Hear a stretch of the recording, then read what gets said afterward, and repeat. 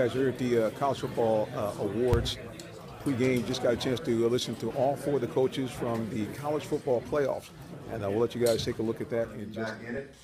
Uh, you know, it was a great experience for us last year, and, and uh, you know, proud of our team for for uh, you know having a great season this year and earning the opportunity to uh, go compete.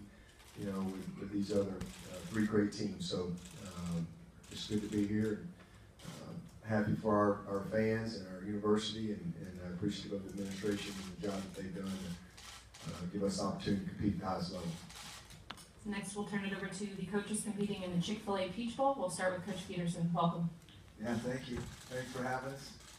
Rookie up here, so I'm just kind of eyes wide open, kind of echoing what they say, what they do. But uh, we have the Pac-12, the University of Washington. We're so thrilled to have an opportunity. Um, unbelievable challenge, uh, playing this great Alabama team and program. Um, but we are so excited, very appreciative of our administration, our players, our coaches, to have an opportunity to get here. Thank you. And next, we'll welcome Nick Saban. It's great to be back representing the University of Alabama. I'm very proud of our staff, our coaches, our players, uh, all the people at our institution who make our team strong uh, in terms of their support for our student athletes. Uh, I'd like to congratulate um, the coaches up here for, and their players for the great season that they have.